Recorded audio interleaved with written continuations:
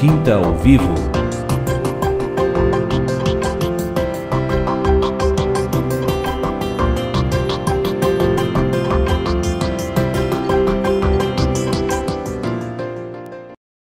Boa tarde, viewers, telespectadores da TV Menorá. Vamos aqui num bate-papo edificante, diretamente de Indaiatuba, São Paulo, com a nossa irmã Giane, num bate-papo, sim, falando um pouquinho do testemunho, um pouquinho de como que ela começou, né, desta vida de, de divina, né, desta vida verdadeira na palavra, no evangelho do reino. E eu deixo aqui inicialmente, irmã, já para irmã, é, nesse boa tarde inicial aqui, junto dos nossos viewers, aqueles que nos acompanham já desde 2009, para irmã trazer aqui um pouquinho dessa tua experiência, desde quando que a irmã está congregando aqui na igreja em Dayatuba. Amém, irmãos.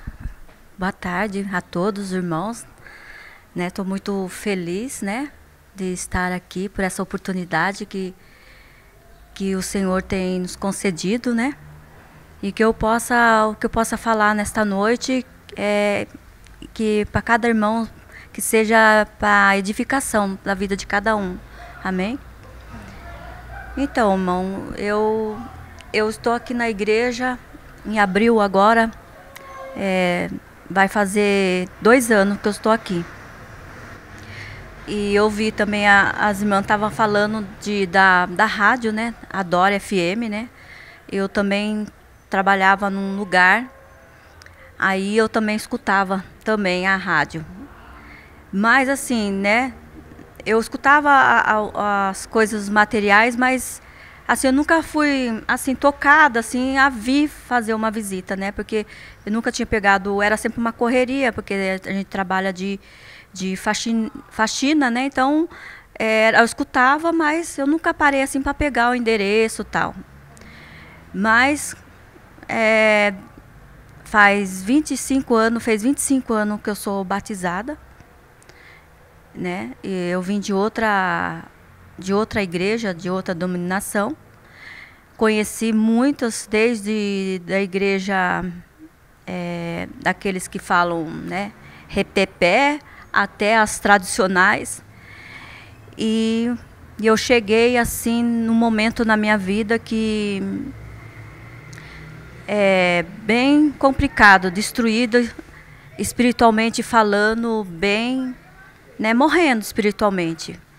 Eu não sentia alegria, não tinha felicidade, né? Tava indo, só ia porque eu sabia que existia um Deus e que a gente tinha que ir para a igreja.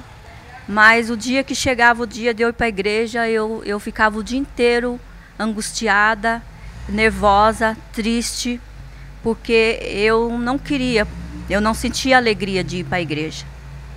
E eu cheguei a um momento assim, eu da minha vida que que eu estava é, com problema no casamento, né?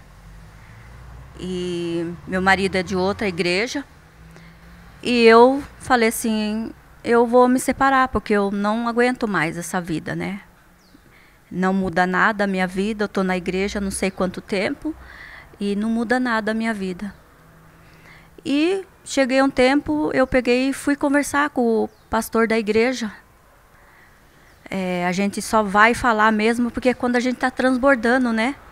É, as coisas ruins, né? O, a boca fala porque o coração está cheio. Então, eu cheguei nele e falei, expliquei da situação, do que eu estava passando dentro de casa, vivendo espiritualmente, porque eu era diaconisa da igreja, eu não achava certo, né? Eu eu estando ali e fazendo um trabalho na igreja e por dentro era totalmente destruída, né? E o que aconteceu é que eu cheguei, falei com ele e ele mostrou umas passagens de, da Bíblia para mim e falou assim: "Ah, irmã, o, o que a irmã precisa fazer é orar".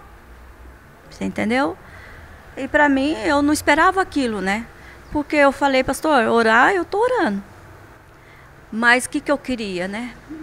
Eu queria que ele mostrasse um caminho assim para mim, né? E eu me decepcionei muito ali daquela maneira que ele falou, friamente, e eu estava ali no ponto de explodir, pedindo socorro, né, para me ajudar. é, né? Porque eu, eu já vinha já do, do, do segundo casamento, né? E a minha, o primeiro casamento foi destruído através porque a gente não tem sabedoria, deixou entrar todas essas coisas ruins, né? A alma e e foi destruído assim.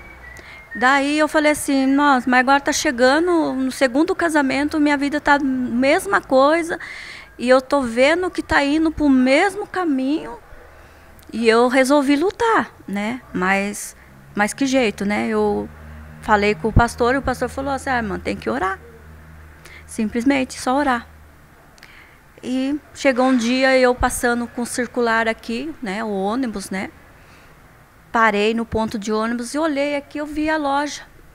E eu peguei, eu veio de ir para casa, que eu não queria nem chegar em casa, porque eu não estava aguentando. Peguei parei aqui na, na, na livraria. E eu falei, eu conheço essa livraria. Eu estava tentando lembrar, era da rádio, né, que eu ouvia da rádio Adore que eu colocava todo dia. E resolvi entrar, comecei a olhar, disfarçar, olhando os materiais. Daí o Marcelo e a Beatriz, né, muito assim prestativo, assim já vieram, com, começaram a conversar comigo e de repente eu já estava falando também, porque eu estava sofrendo, né?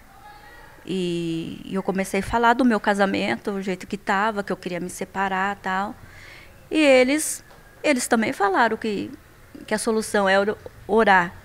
Mas eles apresentaram o caminho para mim, como que eu devia orar, como que eu devia buscar. E eles mostraram esse material aqui para mim, né, que é, é Esposa Modelação. E deram um CD para mim de família, né, também. E eu fui para casa naquele dia, assim, com esperança. Até eu falei aqui, eu falei assim, aqui vai ser o último lugar que eu vou entrar. Eu não vou buscar mais lugar nenhum. Se aqui não mudar a minha vida, né? Através dessas coisas não mudar a minha vida, eu vou parar, porque eu não não vou mais buscar mais. E foi, eu comecei a ler, né? Foi um baque, né? Porque eu eu sempre fui uma pessoa independente, eu não aceitava que ninguém mandasse em mim, que falasse as coisas para mim, me contrariasse, né? É, sempre busquei o, o, o, ganho, né, material. E e assim foi. Li, gostei, comecei a vir. O primeiro o primeiro culto que eu apareci foi na, no, na de oração, intercessão. E eu vim, achei estranho, né? muito estranho, mas gostei. E eu tô, tô aqui até hoje, né, para a honra e glória do Senhor. Muito feliz. Meu marido, ele não não tá vindo comigo, né? Mas a gente tá, junto e eu tô aprendendo a cada dia, né, com esse material. E e outros outros, né? Tantos aí. Eu, eu li quase, quase todos esses aqui, mas era por causa da fome que eu tinha espiritual, né? Agora, hoje, eu estou lendo de volta, repassando tudo devagar, com mais calma, né? E está sendo uma benção, assim, na minha vida, uh, os materiais. Porque eu não tinha costume de ler muito a Bíblia, né? Eu não... Porque não tinha força para ler a Bíblia, não entendia é, oração, essas coisas. E hoje, através do material, eles ensinam, incentiva você a buscar, porque até porque você está lendo e tem os versículos, você tem que estar tá ali com a palavra. Você abre, né? E ali você vai entendendo.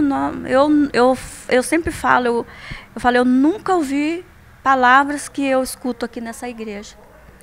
Né? 25 anos faz, eu nunca vi a maneira que, que o apóstolo Sérgio Alves, assim, de, de trazer a mensagem é, para nós, assim, e a gente, eu, eu me senti feliz. Por quê? Porque quando eu estava em outras denominação, eu recebia naquele dia, no outro dia eu estava de novo com fome, triste, sem saber o que fazer e não tinha vontade de ir para a igreja. Amém? Amém, amados. Que testemunho. Vamos continuar aqui nesse bate-papo edificante, irmã. Com certeza, a irmã tem muito mais para compartilhar. E voltamos aqui já já no segundo bloco. Quinta ao vivo